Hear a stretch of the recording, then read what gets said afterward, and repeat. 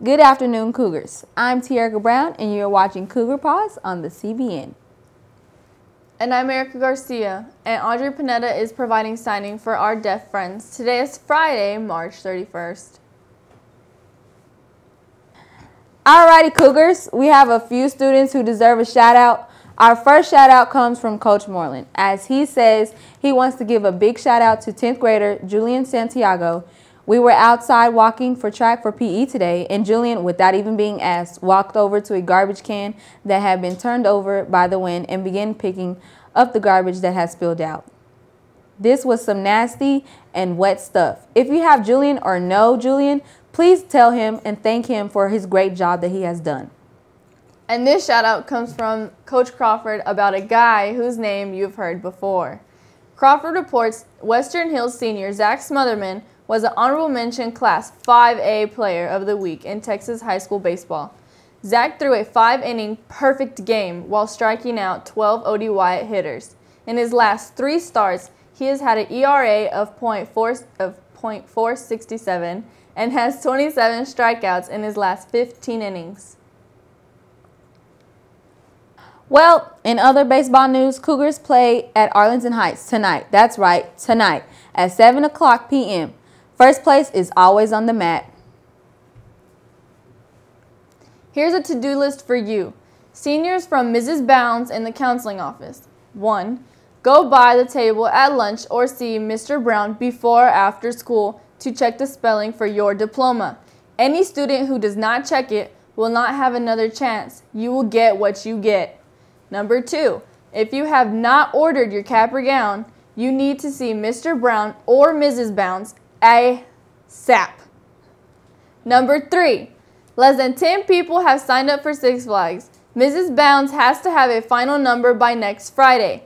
Pay your $25 deposit by next Friday or see Mrs. Bounds to make other arrangements. 4.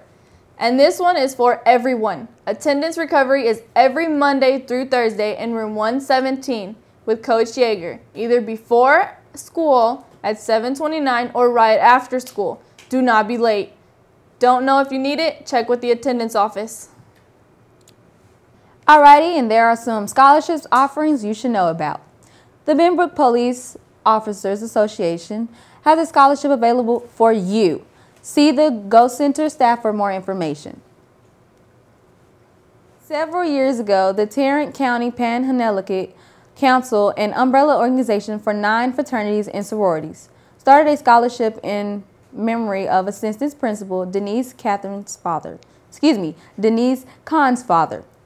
Teachers are asked to look at the information Ms. Kahn sent to you and look at the requirements for this year. If you have a student who qualifies, make sure he or she gets this application. It would be too cool if the scholarships committee of the PAN selected one or two Western Hills students for this prestigious award.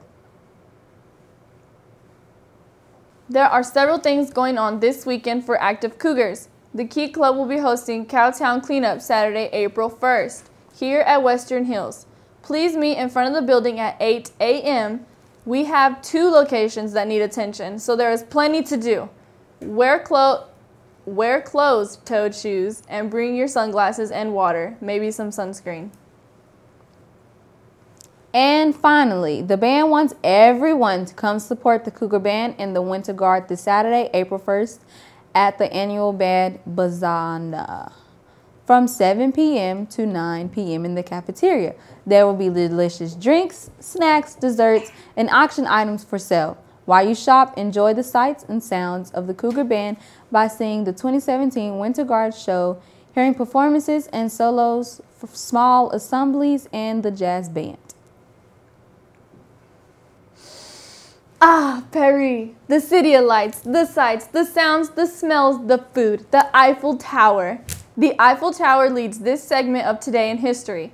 It was on this day in 1889 that the Eiffel Tower was dedicated in Paris in ceremony presented over by Gustave Eiffel, the tower designer, and attended by French Prime Minister Pierre Tirard, a handful of other dignitaries of 200 construction workers taller than 81 taller than an 81 story building.